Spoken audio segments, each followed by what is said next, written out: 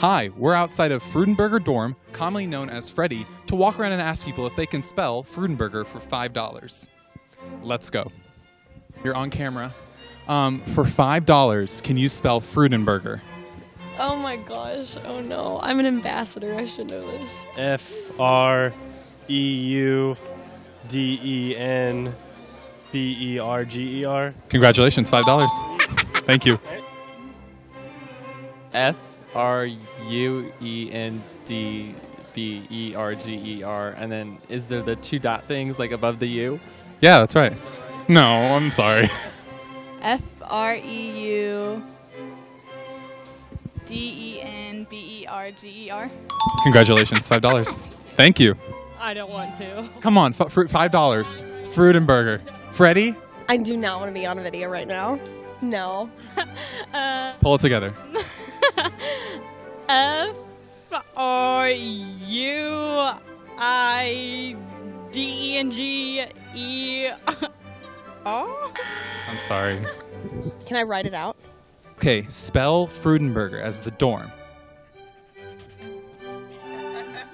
Good. Yeah, very nice.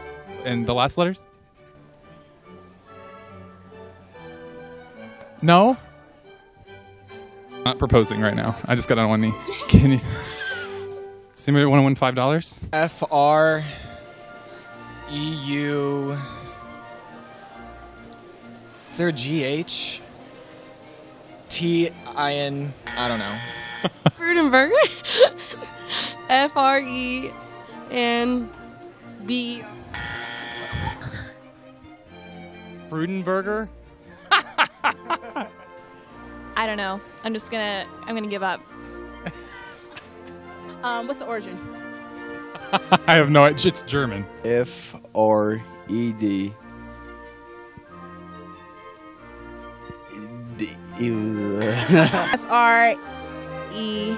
Congratulations, five dollars. Can I just spell Freddy? B R U G E R. B U R G E R. B U R G E R. Um, T. No. F R E U D E N B E R G E R.